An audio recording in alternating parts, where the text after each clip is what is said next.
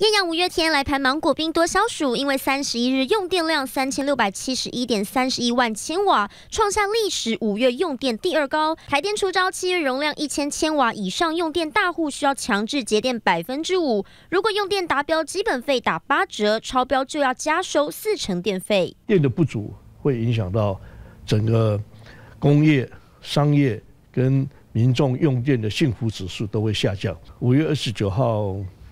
这个 被转容呢已经降到三 percent 以下了哈，那么同时我们超降低于六 percent 的已经有超过十十几天了哈，跟稳定的供应呢，我们是感到忧心的。企业对供电没有信心，立委磨刀霍霍尬上经济部长沈荣金，连续四月到现在九次的大跳电。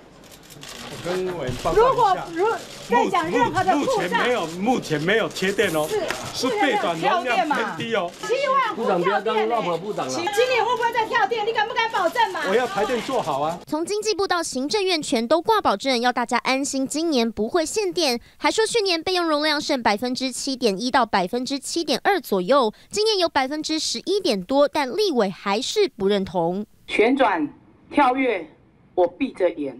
我现在把这个歌词稍微改一下，轮流跳电，我翻白眼。